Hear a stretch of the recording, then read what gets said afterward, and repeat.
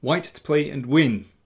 This is taken from an online blitz game played in November 2022 between Sergei Ljukin and Alicio Pinheiro. If you want to solve the puzzle interactively and see the complete game, then do check out uh, chesspuzzle.net. The link's down there somewhere. Um, that's just another way of solving it. You can always set up the position on a real board with real pieces. Anyway, let's get down to biz. White play and win. Now, there's a very tempting continuation here, which uh, only just fails. First of all, let me tell you what happened in the game. White played queen h5,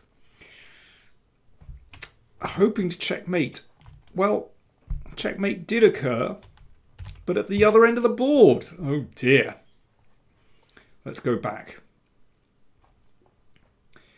But there is a very interesting move here. Rook takes pawn check. This doesn't win, but it's incredibly close. And here there's an amazing move. If you spotted this, well done. Rook h8. So if that's taken, then that's mate in short order. If it's taken with a queen, queen takes bishop check. It's actually also very good for white. Should be winning. The bishop and queen control the pawn and the combination of these three pieces should be enough to actually get the king. Should be a winning position.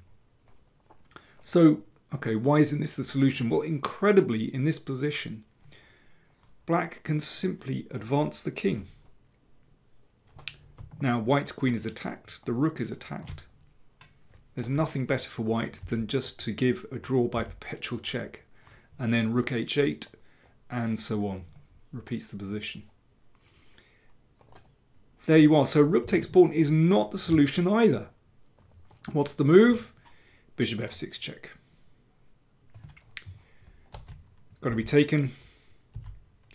And rook check here, queen g4, that's the point. Getting rid of the bishop means the g file is open and then it's checkmate on the back rank. Okay, we may as well go right to the end. Thank you very much. And what else? After this, okay, what about queen takes? Check on h7 again. Now, queen g4 is winning, but it's, it's even better to play queen takes bishop check and after this, rook takes and bishop e6 wins the queen. Very straightforward. So there we go. The best move is bishop f6 check. Remember, check out chesspuzzle.net for the full game and the solution.